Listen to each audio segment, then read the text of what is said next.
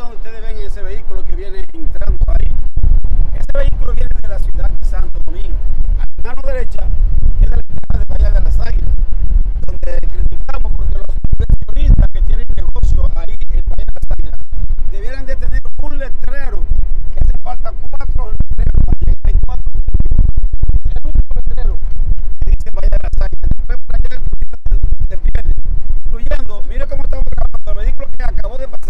tuvo que devolverse, porque no sabe la entrada de Bahía de las Águilas. Todo el mundo de aquí se pierde. ¿No? ¿Qué mismo, señor?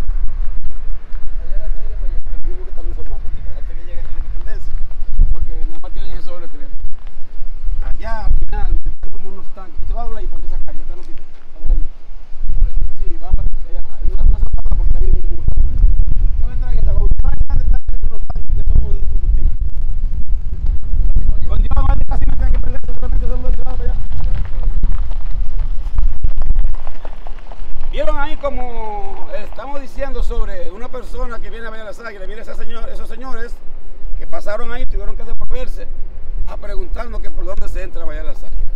Mientras que hay unos que se benefician y no pueden hacer cuatro simples letreros. Cada vez que uno va ahí se encuentra con dos o tres visitantes perdidos.